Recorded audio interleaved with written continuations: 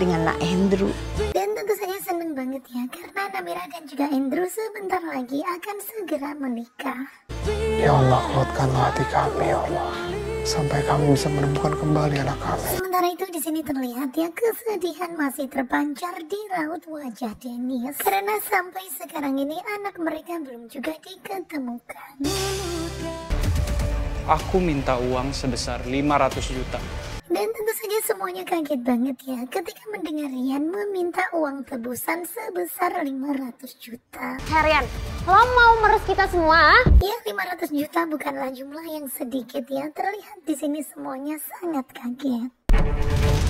Namira di mana ya kak? Namiranya lagi siap-siap, kan harus cantik mau menyambut sang pangeran. Sementara itu terlihat ya Namira dan juga Andrew yang sepertinya akan segera menikah. Di sini terlihat ya mereka berdua sangat bahagia. Anak aku mana? Nah, kita belum ditemuin. Dan tentu saja sedih banget ya ketika Sakinah terbangun dari tidur dan teringat akan anaknya. Kemudian Dennis mengatakan kalau anak mereka belum diketemukan. Nah tentunya pasti makin penasaran kan dengan kelanjutan Bidadari Surgamu pada hari Rabu tanggal 17 April 2024 hari ini. Nah kira-kira bagaimanakah kelanjutannya?